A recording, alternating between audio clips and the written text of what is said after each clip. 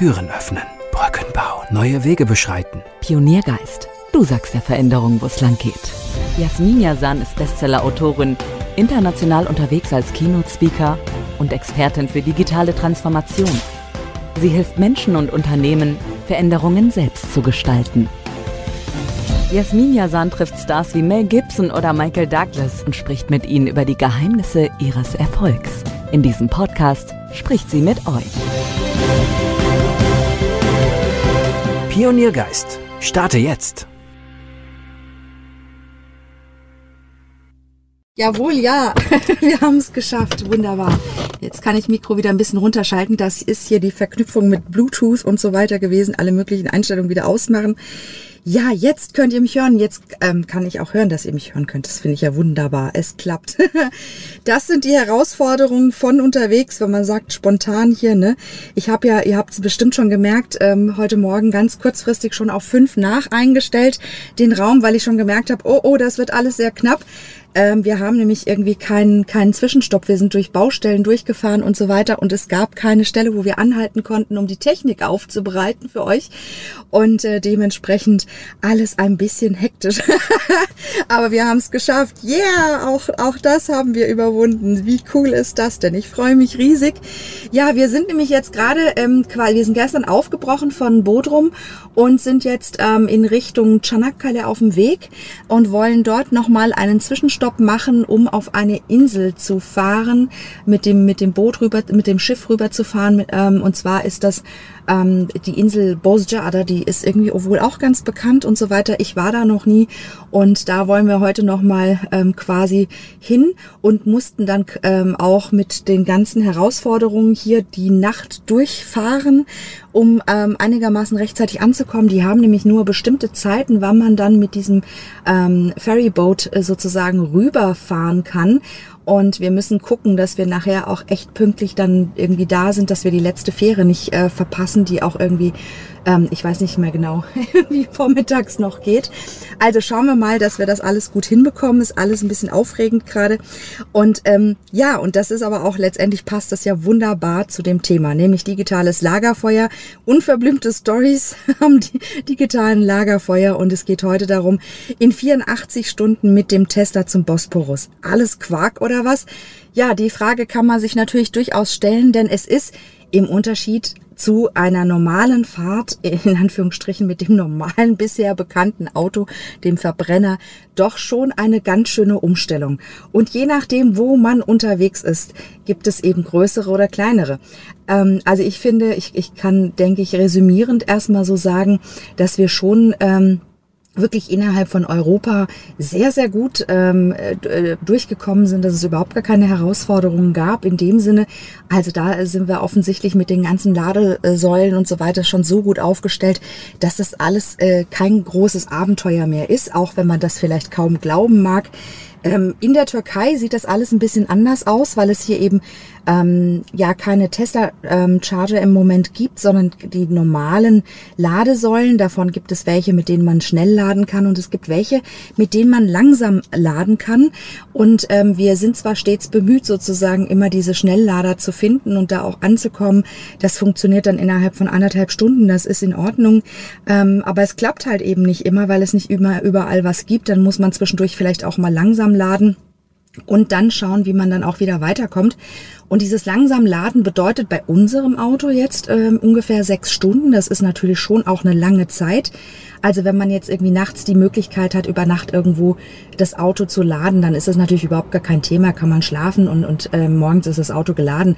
Aber wenn man jetzt irgendwie unterwegs ist, ähm, so wie wir gerade, wo man dann eben von einem Ort zu dem anderen und dann noch mit bestimmten Zeiten hinten dran, dass man sagt, die letzte Fähre fährt dann und dann und wir müssen dann rechtzeitig da sein, dann wird das eben doch zu einer Herausforderung, ähm, wenn man nicht unbedingt drei Tage vorher anreisen möchte, um im ähm, um auf, auf jeden Fall rechtzeitig da zu sein und und und. Aber das wollen wir, wollen wir, wollten wir ja jetzt auch nicht. Wir wollten ja trotzdem so viel wie möglich auch Strandzeit genießen. Und wer Strandzeit genießen möchte, möchte natürlich nicht ein oder zwei Tage vorher schon aufbrechen. Ähm, wir sind ja eh schon vorher losgefahren, damit das alles jetzt aufgehen kann. Und ähm, insofern es ist letztendlich Ähm, ganz, ganz spannend. Vor allem, wir haben ja diese Woche jetzt ganz viel darüber gesprochen, über Entscheidungen. Und ähm, auch das letztendlich finde ich passt wunderbar in diese Woche rein mit zu dem Thema Entscheidungen, denn es war letztlich eine einzige Entscheidung. Die Entscheidung, fahren wir mit dem Auto, wagen wir es oder nicht. und auch hier stand wieder im Vordergrund das Was der Entscheidung und nicht das Wie der Entscheidung. Das heißt, wir haben zuerst entschieden, dass wir mit dem Auto fahren werden, dass wir uns auf dieses Wagnis einlassen sozusagen und haben dann erst im zweiten Schritt geguckt, okay, was bedeutet das alles genau für uns? Wie können wir das gestalten? Ähm, welche Strecke müssten wir dann langfahren? Ähm, äh, funktioniert das überhaupt und, und wie können wir es möglich machen? Was brauchen wir auch an Ausstattung, um das möglich zu machen? Und ähm, wir haben tatsächlich auch einiges nochmal zur Sicherheit ähm, hier nochmal auch nachgerüstet, in Anführungsstrichen. Also wir haben zum Beispiel so ein ähm, ähm, ähm, Agrar, ähm, so, so, so, so ein Solarsystem ähm, uns angeschafft, so ein mobiles, dass wir, falls wir irgendwo liegen bleiben sollten, auch noch die Möglichkeit haben, ein paar Kilometer noch weiterzufahren über unser ähm, solargenerierten Strom hier im Auto selbst. Und ähm, das ist alles relativ spannend gewesen, da auch nochmal zu gucken. Ne? Da können dann wirklich auch so, keine Ahnung, 16 bis 20 Kilometer, die es dann noch extra geht, ähm, die können dann auch schon echt viel wert sein. Beziehungsweise dann kam ja noch die Entscheidung zu sagen, wir setzen das Ganze hier fort, auch mit äh, Clubhouse und so weiter und so fort. Und wir werden eben auch, so wie heute, Zeiten haben, wo wir gerade im Auto unterwegs sind und wie kann man das möglich machen. Und auch da ist natürlich diese, diese Stromanlage, die wir, die kleine, die wir zum Selbstgenerieren von Erzeugen von Strom, die wir im Auto haben, natürlich perfekt, weil die ähm, jetzt natürlich auch zum Beispiel sicherstellt, dass mein Rode-Gerät hier überhaupt funktionsfähig ist, weil das läuft ja normalerweise nur mit Strom, ähm, so dass ich meinen Strom jetzt gerade eben von, ähm, von dem Gerät ziehen kann. Und, ähm, und äh, wir haben uns letztendlich dann für ein mobiles entschieden, weil wir gesagt haben, naja, das ist doch wunderbar, dann können wir das auch zu Hause, auch im Herbst, wenn Deutschland vielleicht hier oder da auch mal Strom ausfällt, auch noch einsetzen. Also in, in, insofern haben wir gedacht, kann man, lässt sich das doch wunderbar auch kombinieren ähm, und haben uns dementsprechend dafür entschieden. Und ähm, ja, angefangen von Verlängerungskabeln über was weiß ich was nicht alles, woran man hier alles jetzt an Verknüpfungen auch denken muss. Ne? Und, ähm, und ihr habt es ja eben gerade gesehen und dann funktioniert die Technik trotzdem nicht und woran hat es gelegen? Das Bluetooth war noch eingeschaltet, so dass ich automatisch über das ähm, Automikrofon spreche und wir haben es gemerkt, weil ich die Tür mehrfach auf und zu gemacht habe und dadurch hat sich bei euch äh, einmal der Ton eingestellt und dann war er wieder weg. Ähm, also man, man sieht, man kann hier schon einiges mitmachen. Ähm, die, die Frage stellt sich natürlich auf der einen Seite, äh, möchte ich dann trotzdem sowas, ich meine, das ist ja jetzt etwas eher Außergewöhnlicheres, das ist wahrscheinlich jetzt nicht 0815, dass man, wenn man mit dem E-Auto fährt, dass man dann unbedingt auch ähm, mit so einer Ausstattung ähm, los muss, wie, wie bei uns das jetzt der Fall gewesen ist, die Entscheidung, die wir getroffen haben. Aber es ist ja durchaus denkbar, dass ähm, eben zum Beispiel, äh, keine Ahnung, Laptop oder sonst irgendwas, dass man dann eben ähm, auch Sachen mitnimmt, damit man gerade diese Zeiten der Überbrückung, die vielleicht auch bis zu sechs Stunden auch mal gehen können, wenn das je nachdem auf welche Zeit es fällt und ob man dann eben die Möglichkeit hat, ähm, also ob man dann warten muss oder ob man dann tatsächlich auch die Möglichkeit hat, dann in, ähm, dort irgendwie was anderes auch zu machen. Ähm, da gibt es dann natürlich die Möglichkeit auch zum Beispiel irgendwie weiterzuarbeiten oder ähm, Filme zu gucken oder was auch immer. Und all das benötigt ja letztendlich Strom. Nur wenn wir Strom laden und gleichzeitig wieder Strom benötigen, das ist ja so ein bisschen wie so ein in sich geschlossener Kreislauf. Ähm, da möchte man ja eigentlich auch wieder vermeiden, dass man unnötig irgendwie Strom verbraucht. Ähm, und so ist es dann äh, schon so, dass man das Verhalten, was man auch hat, ähm, durchaus, und das hat mir letztes Mal auch schon ein Stück weit besprochen, durchaus auch ähm, mehr beleuchtet, ne? dass man zum einen zum Beispiel langsamer fährt, ähm, dass man nicht willkürlich die Klimaanlage irgendwie eingeschalten hat, sondern dass man zum Beispiel abends dann auch tendenziell äh, eher die äh, vielleicht mal ein Fensterchen aufmacht oder so, um frische Luft reinzubekommen und ähnliches. Also es heißt, dass wir ähm, automatisch ein Stück weit auch unser Verhalten dann entsprechend ähm, anpassen, um zu gucken, wie das eine oder andere möglich wird. Ähm, also für mich ähm, Resümee, also für uns, es hat auf jeden Fall bisher Spaß gemacht. Also die ähm, Reise nach Deutschland steht ja dann in den nächsten Tagen aus. Wir werden voraussichtlich Sonntagabend beziehungsweise Montag früh oder so so um den Dreh irgendwann aufbrechen, dann geht's wieder nach Deutschland. Und, ähm, und von unserer Seite ist so die Erfahrung, ja, es geht. Ähm, Im Bereich wie ähm, vielleicht in Ländern in der, wie in der Türkei, wo das noch nicht so stark ähm, ausgebaut ist, ähm, ist es schon noch eine wirklich eine Herausforderung, ähm, weil wir haben halt eben keine Alternativen. Ne? Das heißt, wenn du irgendwo ankommst und du hast dann einen Schnelllader und wenn der nicht funktioniert, dann stehst du da. Ähm, dann kommst du irgendwo anders an, dann gibt es einen einzigen ähm, Lader, den normalen Langsamlader. Und wenn der nicht funktioniert, und das haben wir alles heute Nacht gehabt, ähm, dann stehst du erstmal da und kommst erstmal nicht voran. Deswegen kann man der dann auch nicht bis äh, auf den letzten Drücker irgendwie und, und dann in der letzten Minute da irgendwo anhalten, sondern muss ja dann auch schon gucken, dass falls da irgendwas schiefgehen sollte, dass man trotzdem noch an die nächste Ladestation käme.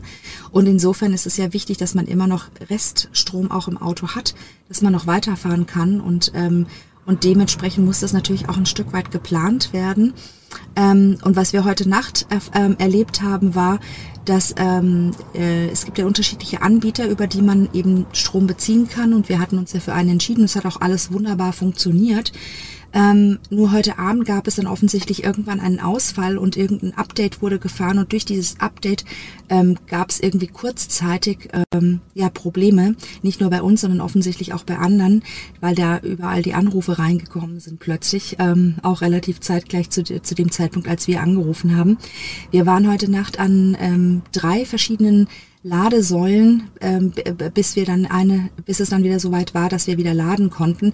Und es lag offensichtlich nicht daran, dass die Ladesäulen kaputt waren und das wussten wir aber am Anfang nicht. Ne? Das haben wir dann erst in der dritten dann sozusagen realisiert, ähm, sondern es lag an einem Update von dem Anbieter, das sie gerade gefahren haben, was dazu geführt hat, dass das System sozusagen zusammengebrochen ist und gar nichts mehr funktioniert hat. Und dann haben sie das aber schnell wieder behoben, Gott sei Dank ähm, so dass wir dann an der an der dritten Säule, äh, als es dann auch realisiert war, dass es eben offensichtlich an diesem Update liegt, dass es dann auch alles wieder gut war und wir dann auch die Möglichkeit hatten, dort dann zu laden. Und das ist dann diese ja, eine gewisse Abhängigkeit dadurch, dass es eben noch nicht so verbreitet ist. Also ich meine, bei den Tankstellen haben wir diese Abhängigkeit ja auch, wenn wir Sprit tanken wollen.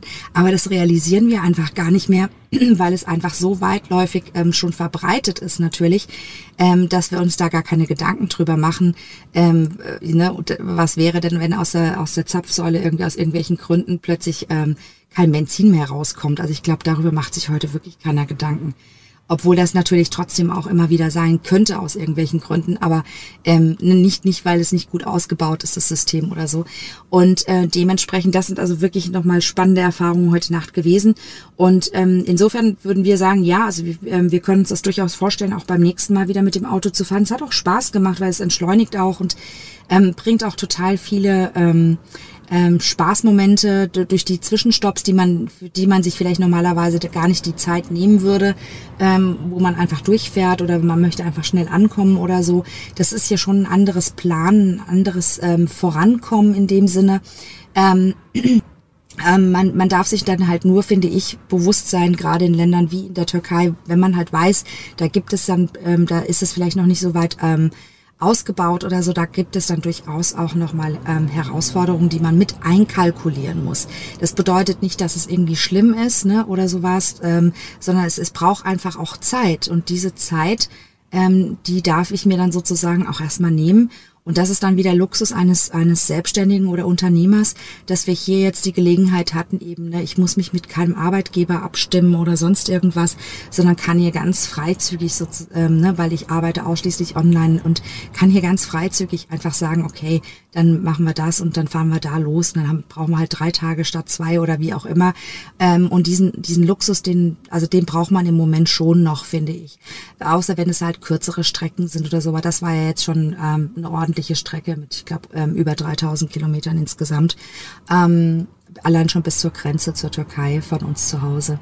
Und, ähm, und dementsprechend, äh, wir können uns das auf jeden Fall vorstellen. Es hat Spaß gemacht. Wir werden es auch weiter tun. und äh, wir hoffen einfach darauf, dass auch ähm, die Türkei demnächst, also hier wird ja schon auch einiges an Tesla-Stationen, ist ja schon gebaut, ist es noch nicht in Betrieb genommen. Wir hoffen einfach darauf, dass das in Zukunft auch kommt und ähm, dass wir das dann eben noch einfacher nutzen können, Ähm, wie das dann ist, wenn man keinen Tesla hat, ähm, weiß ich nicht. Dann hat man ja überall diese ähm, Schnelllader und Langsamlader und so weiter. Aber das wird, äh, da bin ich mir sicher, ist das auch relativ vergleichbar möglicherweise, weil ich glaube, in Europa ist es schon die Infrastruktur deutlich besser schon ausgebaut, als es jetzt ähm, in Asien der Fall ist. Äh, und ähm, da muss man einfach gucken, wo, wo will man hinfahren, wie ist das auch von den, ähm, äh, wie, viel, wie viele Möglichkeiten gibt es da.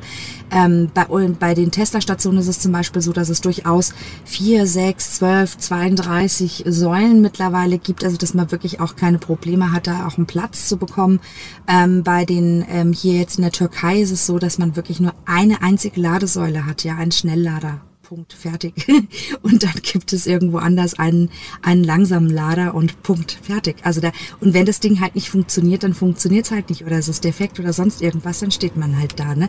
Also da merkt man schon, dass es schon gewaltige Unterschiede gibt in Bezug auf die ähm, ja, Verteilung und, und Ausweitung ähm, ähm, und wir haben, was, wo wir aber richtig Glück hatten, ist, da wo wir in Bodrum leben, da gab es, ähm, gibt es ein Hotel, was quasi um die Ecke ist und da gab es dann einen langsamen Lader.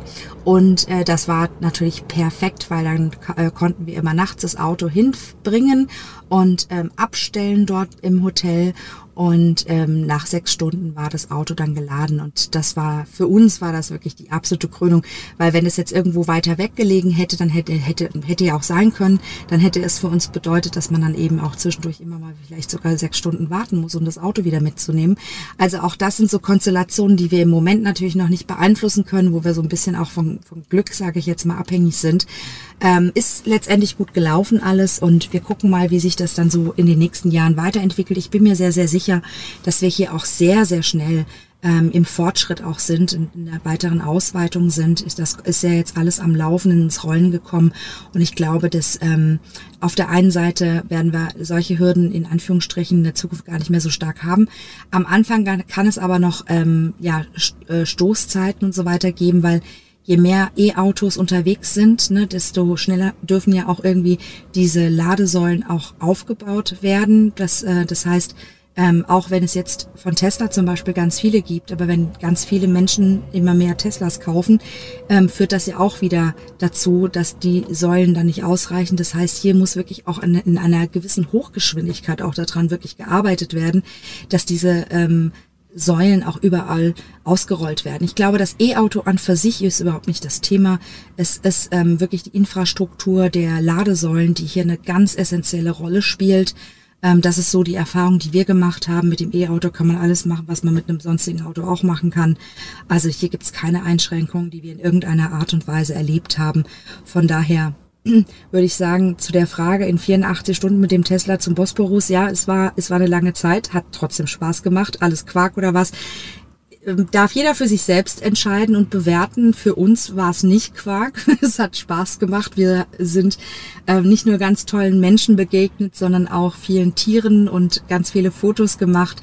Viel Familienzeit einfach auch miteinander verbracht und äh, ja, und, ähm, und da dürfen wir auch nicht vergessen, dass es auch dazu geführt hat, äh, in diesen Räumen das digitale Lagerfeuer ins Leben zu rufen, gemeinsam in den Austausch zu kommen und auch über so Highlights wie der Tesla kann furzen zu lachen. Also von daher glaube ich, ist das Ding hier für uns voll gelungen, hat Spaß gemacht und ähm, ja, ich denke, damit äh, können wir zunächst erstmal ähm, diese, diese Reise ähm, abrunden und letztendlich ähm, zum Thema Entscheidungen nochmal ganz kurz. Ähm, ja, wir machen uns häufig viel zu viele Gedanken über das, wie, wie kriegen wir das hin. Ähm, ich glaube, wir dürfen einfach häufiger wirklich nochmal auf das Was gucken. Was möchte ich eigentlich? Ähm, ob das jetzt ein kleines Ziel ist, ein großes Ziel ist, ob es ähm, vielleicht erwarten mich ganz große Herausforderungen, aber gibt nicht, geht nicht, gibt's im Grunde genommen nicht, sondern es ist immer wieder ein, ähm, ja, erstmal die Entscheidung zu treffen und dann loszulaufen und zu, und zu gucken, na, wir haben ganz tolle Erkenntnisse in den letzten Tagen gehabt in den Räumen. Wo kann ich starten? Was ist der erste Punkt, mit dem ich loslegen kann? Und so weiter und so fort. Und dementsprechend hier dann auch einfach zu schauen.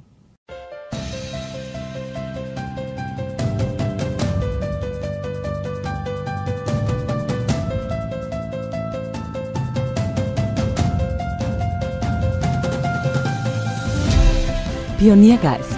Du sagst der Veränderung, wo es lang geht.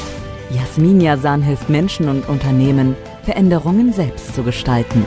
Mehr zu Keynotes, Workshops und aktuellen Projekten gibt's auf www.jasminyasan.com. Pioniergeist. Starte jetzt.